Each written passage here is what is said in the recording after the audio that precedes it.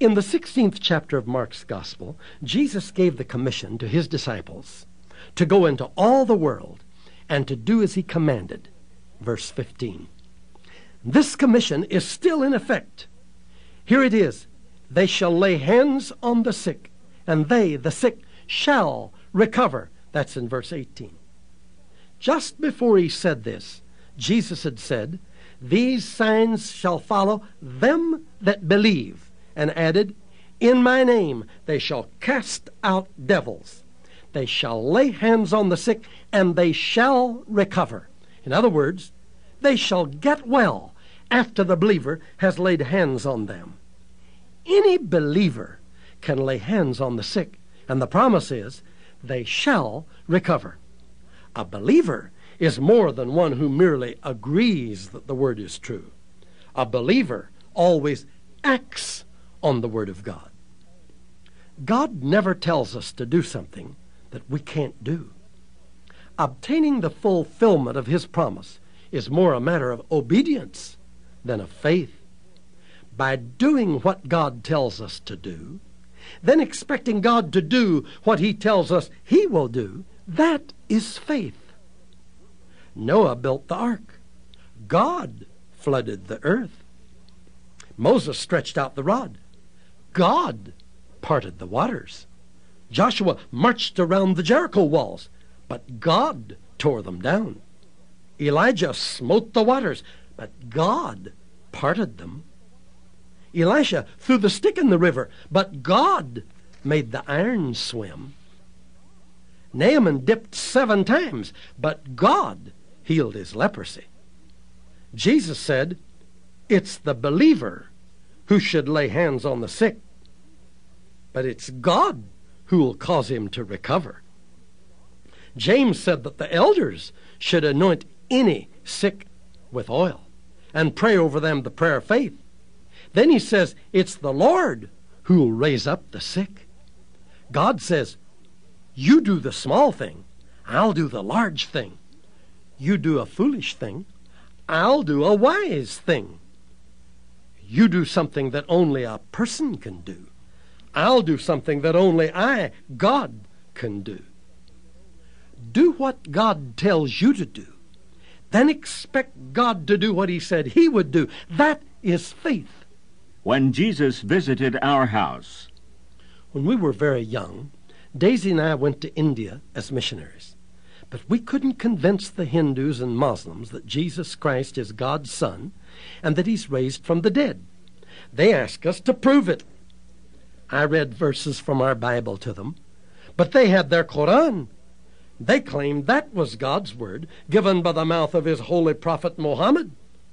Both books, the Bible and the Koran, were beautiful black books with gold letters on their covers, which was God's word.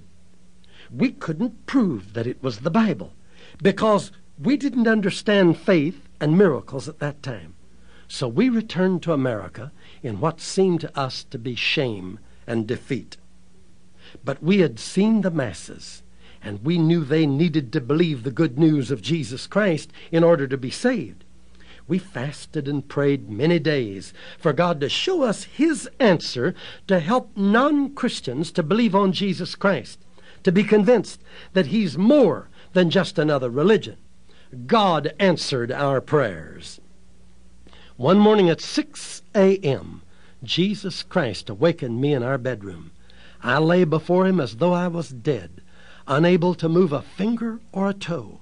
Water poured from my eyes, yet I was not conscious of weeping.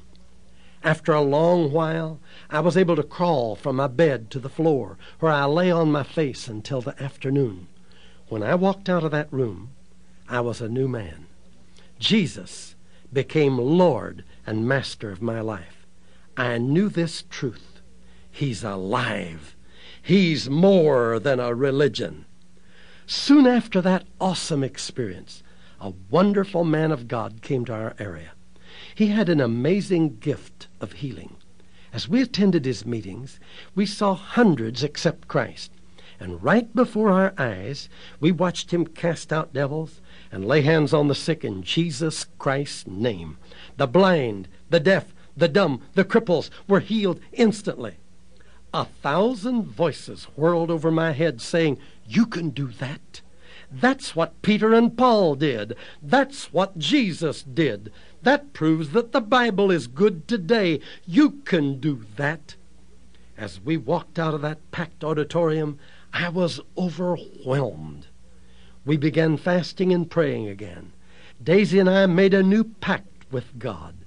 We resolved that we would read the New Testament as though we had never read it before in our lives, and we would believe everything we read. Whatever Jesus told us as his followers to do, we would do. Whatever he said he would do, we would expect him to do it. We would act upon his written words just as prophets of God acted upon his spoken word in Bible days. We would do as the disciples of our Lord had done. If he said we could heal the sick, we would expect to see the sick healed. If he said we could cast out devils, then we would do it in his name and expect them to obey us. I can never tell you what that step meant to us. The Bible became a living, pulsating, thrilling book of truth. We disregarded all of the teachings we had ever had. We accepted God's Word as being literally true and began to act on it exactly like the early Christian believers did. Through that decision, we discovered the authority we have in the name of Jesus and the power we have over the kingdom of Satan, as well as the virtue that flows through every real believer. As this living audio edition of this book is being produced for you, I can witness that for over three decades, in nearly 70 nations of the world, Daisy and I have gone in Jesus' name and have acted on the written Word of God. We've preached to multitudes, from 20,000 to over 200,000 souls daily in these mass crusades, and have seen literally tens of thousands of the most amazing miracles perhaps ever witnessed in any Christian ministry. God's Word becomes very simple when we regard every word as true and act accordingly. It loses all of its supposed complications. Its staggering truths of power and authority granted to the church become a living reality. Often I've said since then how thrilling it is to preach a gospel that works. As we constantly witness the deliverance of the deaf and dumb, the restoring of sight to the blind, the healing of the lame, the crippled, the sick and diseased, we rejoice over the truth of Jesus' words all things are possible to him that believeth. In Mark 9:23. They shall lay hands on the sick. Everywhere believers lay their hands on the sick in faith, the sick recover. We should expect nothing less than this. Mark chapter 5 verses 23 to 41 records the incident of faith in laying on of hands when Jairus, a ruler of the synagogue, said to Jesus, My little daughter lieth at the point of death. I pray thee, come and lay thy hands on her, and she shall live. The Bible says, Jesus went and took the damsel by the hand and said unto her, Arise. And she arose. In Luke chapter 13, verses 11 to 13, Jesus saw a woman bowed over with a spirit of infirmity, and he laid his hands on her and immediately she was made straight and glorified God. In Acts 28, verse 8, the father of Publius lay sick of a fever and of a bloody flux, to whom Paul entered in and prayed and laid his hands on him and healed him. If you are a believer, the nature of God is in you. The Spirit of God dwells in you as his temple. The power of God is in you. And it's this power of God that heals the sick when the hands are laid on them in Jesus' name. Sometimes this is accompanied by manifestations. You may feel the life of God pouring through your body, making it whole. At other times, you may feel nothing. It makes no difference whether or not you have a feeling. The Word of God is superior to your feelings. It's written, They shall lay hands on the sick and they shall recover. That word is always true. Whether feeling comes or not, healing always comes. A lady came to us for prayer, and after the meeting, she was asked how she felt. Well, I never got blessed, she replied, but I got healed. A few moments later, as she was musing over her wonderful healing, she became happy and got blessed. Many people, such as this lady, expect a feeling when prayed for instead of expecting healing. One may be healed by the power of God and never feel anything. Others may feel great surges of God's healing power a heat, a coolness, or a shock as of a current of electricity. But take my advice don't expect feeling, expect healing. A minister said to me, I used to pray for God to slay people under his power and cause them to fall when I prayed for him. And he did just what I asked him to do. Most everyone I laid my hands on fell. But then he said, I discovered that many of them would arise to find that they were not healed. I then began to pray for God to heal them instead of slay them. He said he found that God was faithful to do what he asked him to do. Now, whether they fall or not, he said, I expect them to get healed. And it's done according to our faith. This was a man who had wanted feeling instead of healing.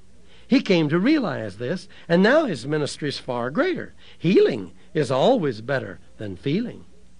When the sick learn to base their faith on the Word of God exclusively, they have absolutely won the victory. It then becomes true that nothing in the realm of feeling can ever separate them from Thus saith the Word of God. As long as you talk in terms of what you feel, you've not yet comprehended the meaning of faith in the Word of God.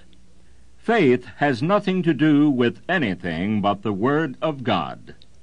Let us suppose that you come to us for prayer to be healed.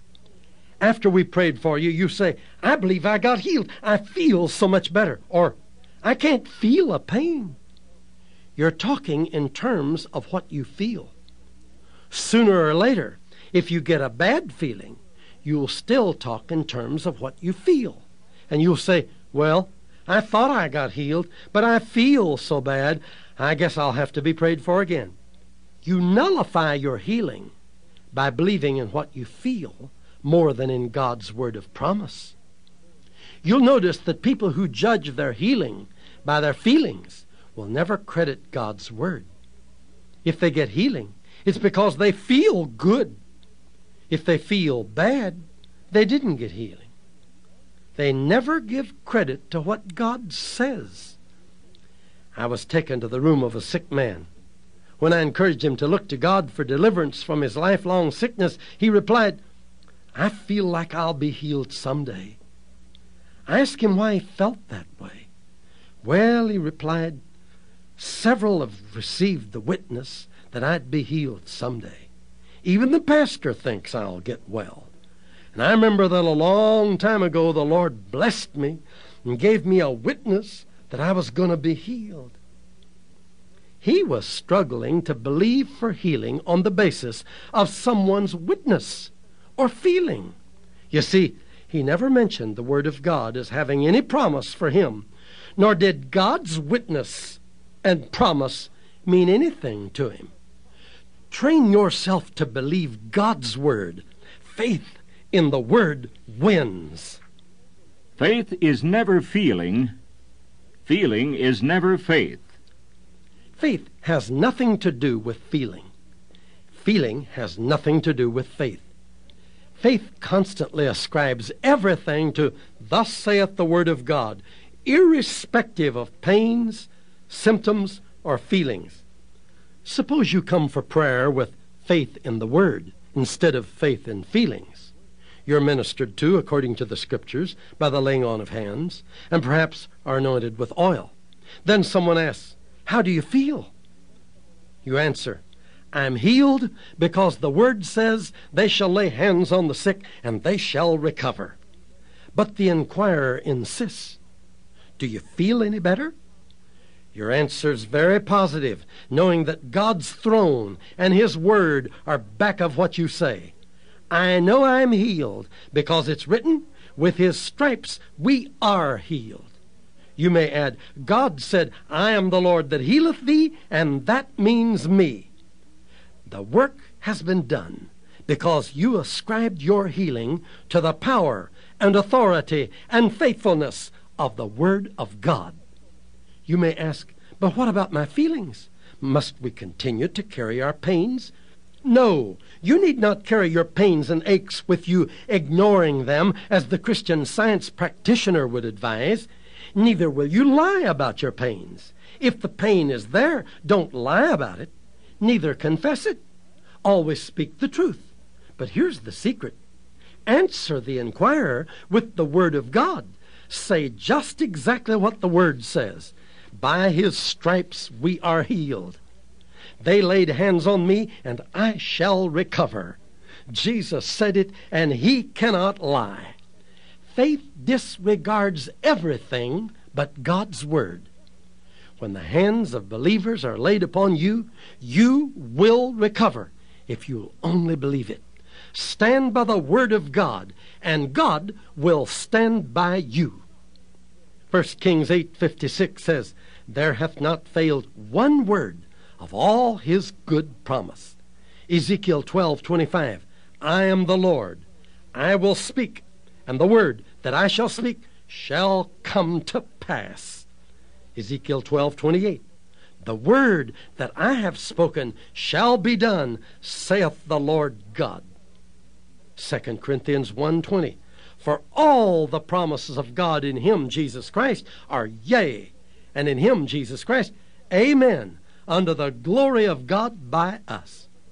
When a Christian lays his hands on you in Jesus' name and earnestly prays for your healing, believe the word of God. Believe that Jesus spoke the truth when he said, They shall recover, feeling or no feeling.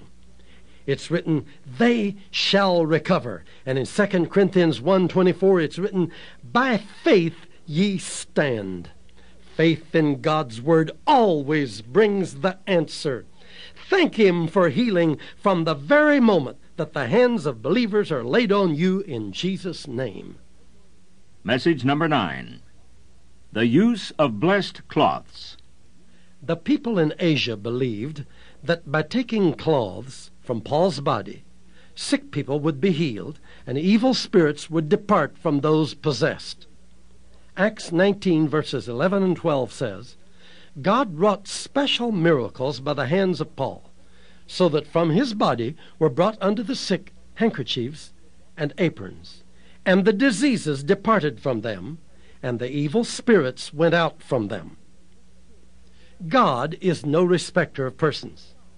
This ministry of sending forth claws from the bodies of God's servants is still in effect today, and thousands of miracles are taking place through this simple ministry. When sick people receive these claws and lay them on their bodies in faith, as though the servant of God had laid his own hands on their bodies and had prayed, the same results follow today. When Paul sent these cloths and aprons to the sick, it was because he could not go to them personally nor could they be brought to him.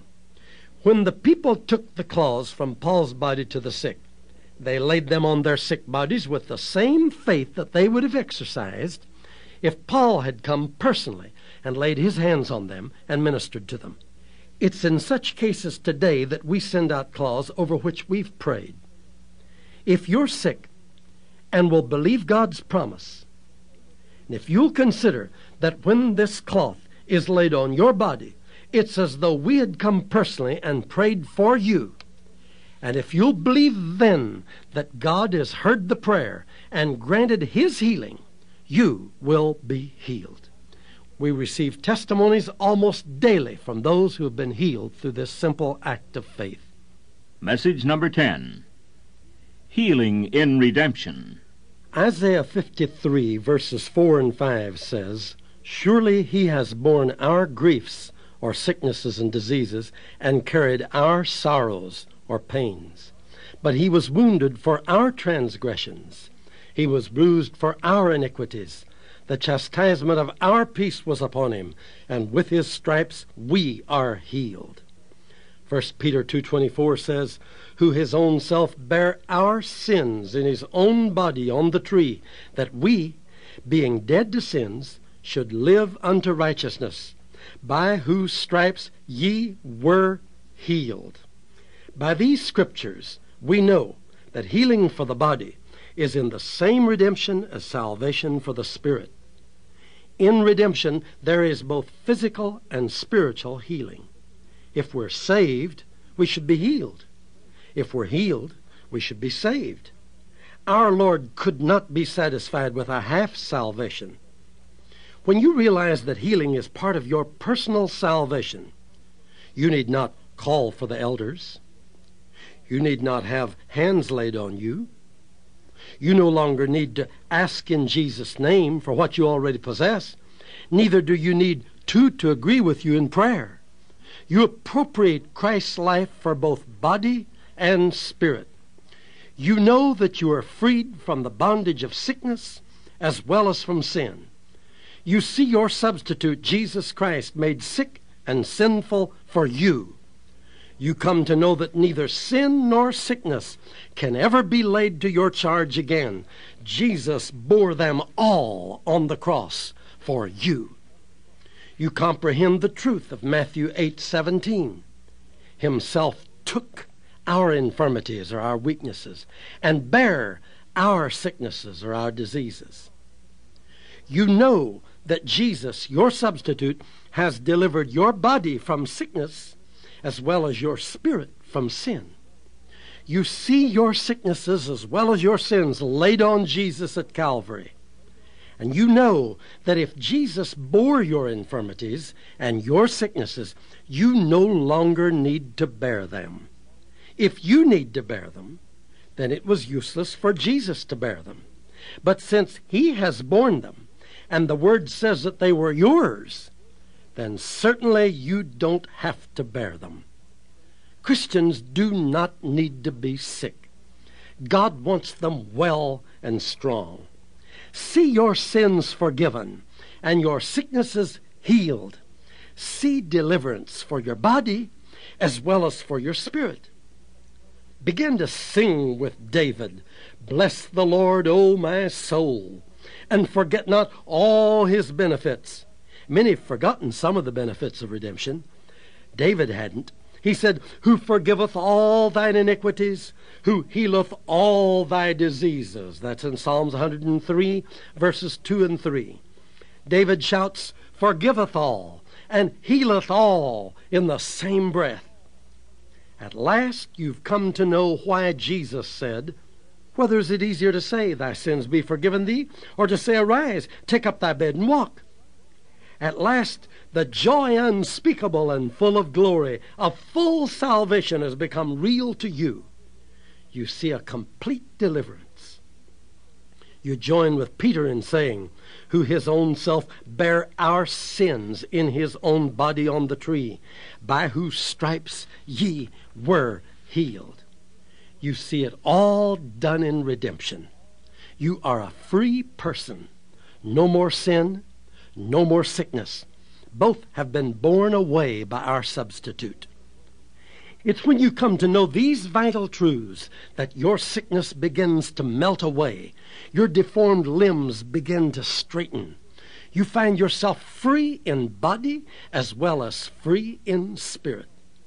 You no longer take your place with Job of the Old Testament, thinking that you must suffer sickness because Job suffered.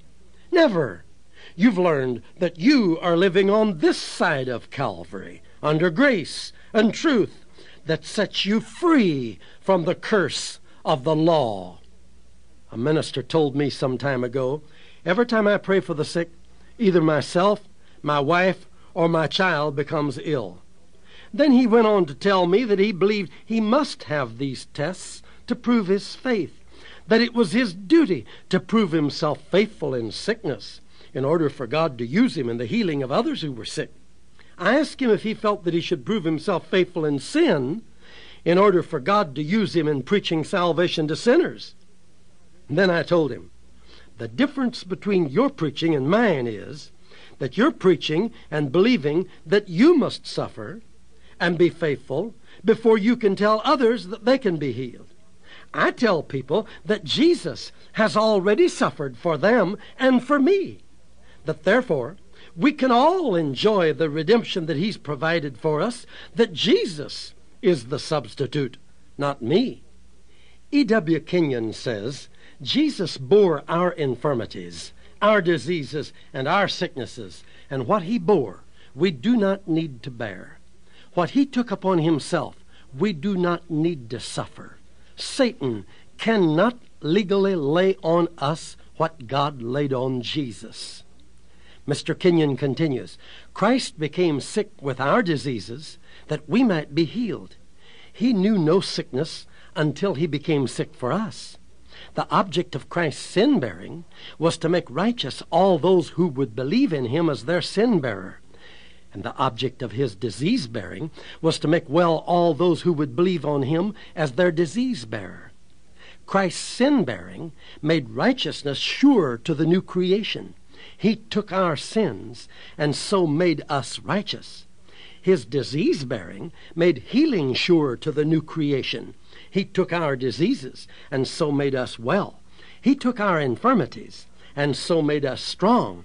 And He now trades us success for our failures.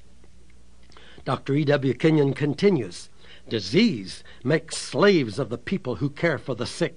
The loved ones who are up day and night working over the sick ones are robbed of joy and rest. Sickness is not of love, and God is love. Sickness steals health. It steals happiness. It steals money that we need for other things. Disease is our enemy. It is a robber. Look at what it has stolen from that tuberculosis patient. It came upon him in young manhood and has made him a burden to his family, filled him with anxiety and doubts, fears and pains, and robbed him of his faith. Dr. Kenyon says, don't tell anyone that disease is the will of God. It is the will of hate. It is the will of Satan. If disease has become the will of love, then love is turned into hate. If disease is the will of God, then heaven will be filled with sickness. Mr. Kenyon says, Jesus was the express image of the Father, and he went about healing all the sick, according to Acts 10:38. And then he concludes Disease and sickness are never the will of the Father. To believe they are is to be deluded by the adversary. If healing had not been in the plan of redemption, then it would never have been placed in the great substitutionary chapter of Isaiah 53. End quote. This is the deliverance that we desire that you find as you listen to this living audio book. Act on it and you'll discover new health returning to your body. Faith in God's Word is never ignored by the Father. Instead, it always brings His complete answer. This is the faith He longs to see you exercise. It will become a part of you. It will become as natural to your spiritual person as seeing and hearing is to your natural person. God said in Exodus 15:26, "I am the Lord that healeth thee." If 3 million people could believe it and find perfect health and strength under the law, cannot we who are living under grace, mercy, and truth be a healthy body of Christ? A man came to me asking that we pray for his healing. He had been stone deaf in one ear for over 20 years. He seemed to be very uncertain regarding his healing, because, as he put it, I've been prayed for by the greatest people of faith in our country during the last 20 years, and I've never received help. Then he asked, Why can't my ear be healed? It can, I replied, if you'll believe. But they've all told me that, he said, and I've never received help from any one of them. My friend, I interrupted, acting as though he were some unworthy character, do you think God is willing to heal a fellow like you? I don't know, he answered, and then added, I know that if it's his will to do it, he's sure able. But, well, I guess that's just one of those things that we're not supposed to know. I said, That's why you've never been healed. You've never read the Word of God for yourself, nor have you received with faith what's been preached to you. You don't know whether or not God has said He would heal you. Therefore, it's no wonder that you don't know whether or not it's His will to heal you. Then I asked him, Do you believe it's God's will to keep His promise? Of course, he replied. Well, I said, He has promised to heal you, and if I can quote you His promise, then you should believe Him and be healed right here and now. I quoted a few scriptures regarding the healing of our bodies, which are applicable to everyone individually, such as, I am the Lord that healeth thee, spoken to over three million people. Or, by whose stripes ye were healed, 1 Peter 2.24. And, is any sick among you? Let him call, James 5.14. Then I ask, now, in the face of all these scriptures, which are promises made to all who will believe them, do you think God included you? Yes, he said, I guess he did. Well, then, I asked, is God willing to heal you, seeing that he's made provision for the healing of every sickness and every disease among all the people? Yes, he said very firmly. I do believe healing is for me tonight. I've never seen it like this before. There seemed to be a glitter of faith in his eyes when he saw that God's word was for him personally. I knew the circumstances were right for prayer on his behalf, and I had hardly touched his deaf ear before sound burst into it, and he could hear me as well with that ear as with the other. When at last he knew what God had said regarding all sickness and disability, and dared to step out on that word, declaring himself as included in the any of James 5:14, in the the of Exodus 15:26, in the our of Matthew 8:17, then the word was accomplished on his behalf. That illustrates so well the purpose for which this audio book is prepared, that you may see that the promises in God's word are for you, and that realizing this, you will act upon God's word of promise and expect Him to make it good in your life. What faith is. Hebrews 11 and 1 says, Now faith is the substance of things hoped for, the evidence of things not seen. This verse is sometimes quoted Faith is the title deed for things which you've hoped for, the putting to proof of things unseen. Or put another way, faith is the title deed to the property you know you possess, even though you've not seen it yet. One of the most helpful and enlightening expressions of faith is this faith is expecting God to do what you know He said in His Word that He will do. Faith is believing that God did not lie. God has never asked that we exercise faith for something that He has not first promised to do for us. One writer said, God deals with His children thus. First, He gives us a promise, and when that promise creates faith, which produces action, He fulfills it. Always remember, God never asks us to believe He will do something for us unless He first promises to do it. Because of this fact, Paul has stated in Romans 10:17, faith cometh by hearing the word of promise. How could faith possibly come any other way? How am I to know that a millionaire would make me a present of a thousand dollars unless he said that he would do it? His ability to do it would not prove his willingness to do it. I must have his promise before I can expect such a gift from him. The only way for your daughter to know that she will receive a new dress tomorrow is for you to promise it to her. She believes that you will not fail to keep your word. Yet there's a possibility that you could be killed before tomorrow, or that you might have lied to her. But not so with the Lord. Balaam, a prophet of the Lord, said, in Numbers 23:19, God is not a man that he should lie, neither the son of man that he should repent. Hath he said, and shall he not do it? Or hath he spoken, and shall he not make it good? Christ the healer. Evangelist F. F. Bosworth, who has written one of the most outstanding books ever to be published on the subject of divine healing, opens his 250 page treasure, Christ the Healer, with these words Before you can have a steadfast faith for the healing of your body, you must be rid of all uncertainty concerning God's will in the matter. Appropriating faith cannot go beyond your knowledge of the revealed will of God.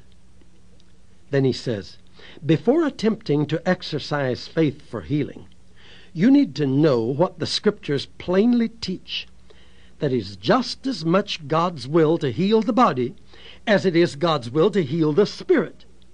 It is only by knowing that God promises what you're seeking that all uncertainty can be removed and a steadfast faith can be made possible. And then Mr. Bosworth says, God's promises are each a revelation of what God is eager to do for us. Until we know what God's will is, there's nothing to base our faith on. Then he goes on to say, Jesus said, The Word is the seed. It is the seed of divine life. If you need healing, until you are sure from God's Word that it is His will to heal you, you are trying to reap a harvest where there's no seed planted. It would be impossible for a farmer to have faith for a harvest before he or she was sure that the seed had been planted.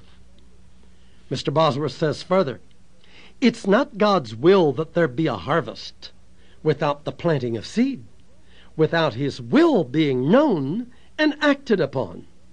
Jesus said, You shall know the truth, and the truth shall make you free. Freedom from sickness comes from knowing the truth.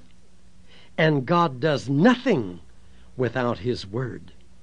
He sent His Word, and it healed them, are the words of the Holy Spirit in Psalms 107, verse 20. Fenton's translation says, All His work is done in faithfulness to His promises. F. F. Bosworth continues in his book If you're sick, to know that it's God's will to heal you is the seed which is to be planted in your mind and heart. And it's not planted there until it's known and received and trusted. You cannot become a Christian until you know that it's God's will to save you. It's the Word of God planted and watered and steadfastly trusted which heals both spirit and body. The seed must remain planted and be kept watered before it can produce its harvest.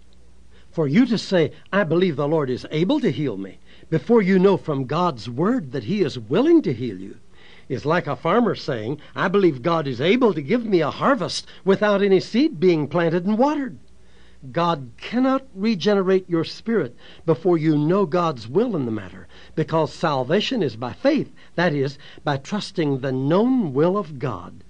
Being healed is being saved in a physical sense. Reverend Bosworth says, praying for healing with the faith destroying words, if it be thy will, is not planting the seed, it is destroying the seed.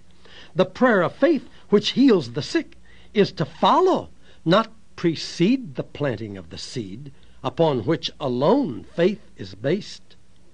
This is the gospel which the Holy Spirit says is the power of God unto salvation in all its phases, both physical and spiritual. And all the gospel is for every creature and for all nations. The gospel does not leave a man in uncertainty, praying with an if it be thy will. It tells him what God's will is. The Holy Spirit's words, Himself bear our sicknesses, are just as truly a part of the gospel as are his words, who his own self bare our sins in his own body on the tree. Neither the spiritual nor the physical phase of the gospel is to be applied by prayer alone. Seed is powerless unless it's planted. Mr. Bosworth then makes this argument. He says, Many, instead of saying, Pray for me, should first say, Teach me God's Word so that I can intelligently cooperate for my recovery. We must know what the benefits of redemption are before we can appropriate them by faith. David specified, Who forgiveth all thine iniquities, who healeth all thy diseases. After being sufficiently enlightened, our attitude toward sickness should be the same as our attitude toward sin. Our purpose to have our body healed should be as definite as our purpose to have our spirit healed. We should not ignore any part of the gospel. Our substitute bore both our sins and our sicknesses, that we might be delivered from both. Christ's bearing of our sins and sicknesses is surely a valid reason for trusting Him now for the deliverance of both. Mr. Bosworth continues When in prayer we definitely commit to God the forgiveness of our sins, we're to believe on the authority of His Word that our prayers heard. We're to do the same when praying for healing. Proverbs 4, verse 20 to 22 says, Attend to my words, incline thine ear unto my sayings. God says, Let them not depart from thine eyes, keep them in the midst of thine heart, for they are life unto those that find them, and health to all their flesh. In this comprehensive passage, God tells us exactly how to attend to His words. He says, Let them not depart from thine eyes. Instead of having your eyes on your symptoms and being occupied with them, let not God's word depart from thine eyes. That is, look at God's word continually. And like Abraham, wax strong in faith by looking at the promises of God and at nothing else.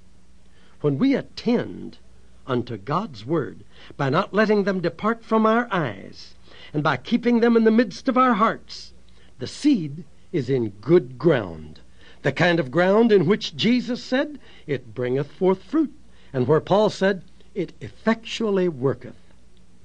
When the farmer gets his seed into the ground, he doesn't dig it up every day to see how it's doing, but he says, I'm glad that's settled. And he believes that the seed has begun its work. Why not have the same faith in the imperishable seed, Christ's words, which he says are spirit and life, and believe that they are already doing their work without waiting to see. Mr. Bosworth makes this argument then. When your eyes are upon your symptoms, and your mind is occupied with them more than with God's Word, you have in the ground the wrong kind of seed for the harvest that you desire. You have in the ground seeds of doubt. You're trying to raise one kind of crop from another kind of seed. It's impossible to sow tares and reap wheat. Your symptoms may point you to death, but God's Word points you to life, and you cannot look in these opposite directions at the same time. After you've planted your seed, you believe it's growing before you see it grow. This is faith, which is the evidence of things not seen. In Christ, we have perfect evidence for faith. Evangelist Bosworth concludes any man or woman can get rid of their doubts by looking steadfastly and only at the evidence which God has given for our faith. Seeing only what God says will produce and increase faith. This will make it easier to believe than to doubt, for the evidences for faith are much stronger than those for doubting. Don't doubt your faith. Doubt your doubts, for they are unreliable. End of quote. He is able if he will. A lady said to me, Mr. Osborn, I would give anything to have my mother healed. I know God's able to completely restore her, and I believe I have the faith that God would heal her if I only knew it was His will to do so. I asked her, Do you believe it's God's will to save a sinner? Oh, yes, she replied. How do you know? I asked. Well, she answered, if for no other reason, the golden text of the Bible, John 3:16, proves that. It says, "Whosoever believeth in him shall not perish, but have everlasting life." She was willing to believe that God would save the vilest sinner because she could quote one Bible verse which promised what she believed. I asked her, "Don't you believe it's God's will to heal your mother?" Well, I don't know that we can tell, was her reply. Will God keep his promise? I asked her. Yes, of course he will, she said.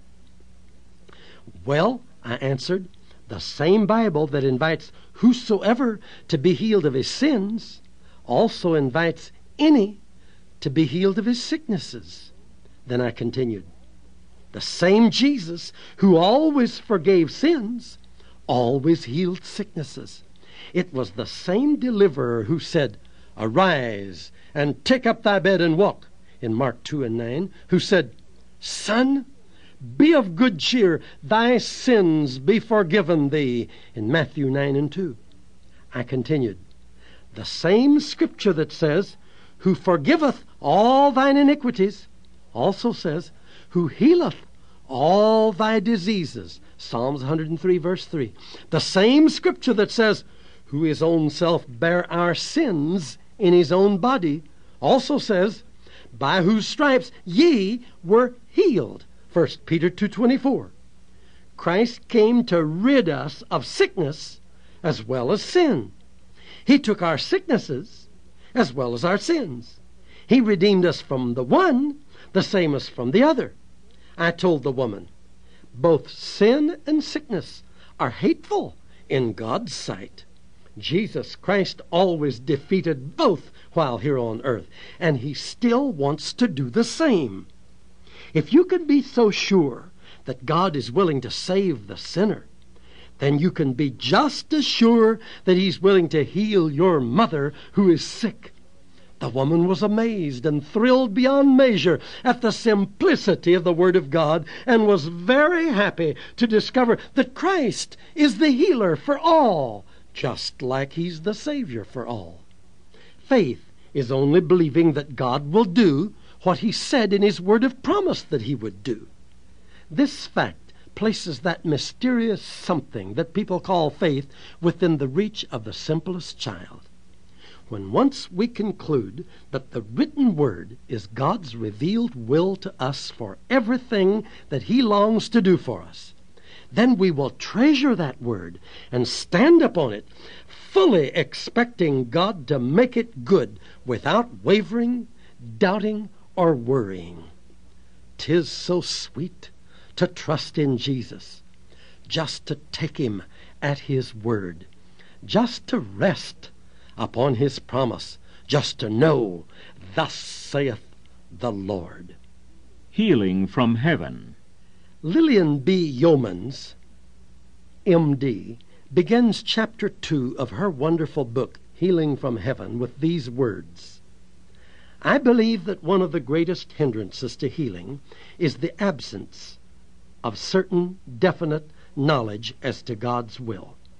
There is lurking in almost everyone who has not properly studied God's Word a feeling that God may not be willing, that we have to persuade Him to heal us. People often say, I know that God is able. He has the power to heal me, if He only will.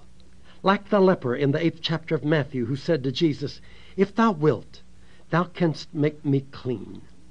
Dr. Yeoman says, Many of us have been taught to pray, If it be thy will, heal me. That wasn't the way David prayed. He cried in Psalm 6 2, Have mercy upon me, O Lord, for I am weak. O Lord, heal me, for my bones are vexed. Then adds in the ninth verse, The Lord hath heard my supplication. The Lord will receive my prayer. Dr. Yeomans continues, There are no ifs or buts in David's prayer. And the prophet Jeremiah, too, had no doubt about God's will as to healing, for he cried in Jeremiah 17:14, "Heal me, O Lord, and I shall be healed. Save me, and I shall be saved." And we, God's people of this day, should be as free from doubt regarding God's will for our bodies as they were, for it is as clearly revealed in the Word as is His will concerning our spiritual salvation. Dr. Yeoman then says this In a sense, the whole Bible is a revelation not only of God's willingness to heal our spiritual ailments, but our physical ones also. One of His covenant names is the Lord that healeth. Jehovah Rapha. And he is also the Lord that changeth not, the changeless, healing, health bestowing, life giving Lord, undisputed sovereign over all the powers of the universe. And then the doctor concludes Jesus is the express image of the Father, the perfect expression of God and His holy will. He could say, He that hath seen me hath seen my Father also. And he declared that his works were not his own, but the Father's that sent him. And he healed all who came to him, never refusing a single individual. You cannot find a case where he said, It is not my will to heal you, or It is necessary for you to suffer for disciplinary purposes. His answer was always, I will. And that fact forever settles for us God's will in regard to sickness. End of quote. Salvation includes physical healing. The word salvation, if properly understood, shows beyond a shadow of a doubt that healing for the body is always the will of God for any and all who have accepted Jesus Christ as their Savior. Webster tells us that the meaning of the word salvation is deliverance from sin and sin's penalty. A prominent part of that penalty is sickness, according to Deuteronomy chapter 28, verses 15 to 61. The word saved, as used in Mark 16, 16, Acts 2.21, and Romans 10 and 9, and many other places in the Bible, is the Greek word sozo, which, when properly translated, carries the meaning of physical and spiritual healing. It is the same word Jesus used when he said to the leper, Thy faith hath made thee whole. Luke 17, 19. And it's the same word used in Luke 8, 36. He that was possessed of the devils was healed. The word salvation is an all inclusive word which gathers into itself the meaning of full deliverance, complete safety, preservation, and soundness, spiritually, mentally, and physically. What a miracle! Salvation from sin and from sickness. Salvation is healing. Dr. John G. Lake, a great missionary evangelist in South Africa at the turn of the 20th century, had a ministry which resulted in the healing of thousands. In an article entitled The Dominion of a Christian, under the subhead of divine healing, not something separate from salvation, he writes these words. One of the difficulties on the line of healing that God has to remove from our human mind is this wretched thing that often prevails in the best of Christian circles where healing is taught and practiced. The idea that divine healing is something disassociated or separate from Christ's salvation. It is not. Healing is simply the salvation of Jesus Christ having its divine action in a person's body, the same as it had its divine action in one spirit. When Christ healed the body, he healed the spirit also. All one needs to do is let God come in. Doing this, one's defective eyes receive sight, the dormant mind becomes active, and the sick body is healed. Dr. Lake goes on to say, I want to fix this thought in your minds. The healing of an individual is God's demonstration to that soul that his sins have been forgiven. And so James states, after affirming that the prayer of faith shall save the sick, that if he have committed sins, they shall be forgiven him. If only the victim of sin and sickness, who's come to Jesus for deliverance, will have faith enough to believe it, he or she will go forth from the presence of God, free in body, free in spirit, healed within, and healed without. The Word of God, Dr. Lake says, is calculated to give an intelligent idea as to what the will of God is. From Genesis to the Revelation, it especially emphasizes one thing that the will of God is to extricate the body, the mind, and the spirit from sin and the effects or penalty of sin, which are disease and death. When the will of God is fully wrought in the race, sin, sickness, and death will have disappeared. The beginning of immortality is when God breathes His life into you and me, and our spirits become the recipients of eternal life in Jesus Christ. Dr. Lake says this how simple it should be for people who have this confidence and faith in the Lord Jesus Christ and His salvation to add faith for the body as well as for the spirit. It works identically the same for sickness as for sin. And furthermore, had this truth been preached, your sickness question would have vanished once and for all when your sin question was taken care of. And he concludes with this One of the most enjoyable freedoms in the world is the mental and spiritual freedom that comes with escape from the bondage of fear. The fear of sickness need never be tolerated by the redeemed, recreated, and delivered child of Jehovah Rapha, the Lord, the great physician, our healer. End of quote. Impossible to have faith without knowing God's definite will. It might be thought that this truth has been somewhat overemphasized, but if you could stand by our sides as we proclaim these truths and hear the warnings, Beware of false prophets who will deceive you with miracles, or it may not be the Father's will to heal you, or sickness is often His divine blessing, or healing is not for today, and so forth, then you would understand why we underscore the fact that according to God's Word, it is always His will to heal those who will obey Him, believe Him, and act boldly on His word of promise.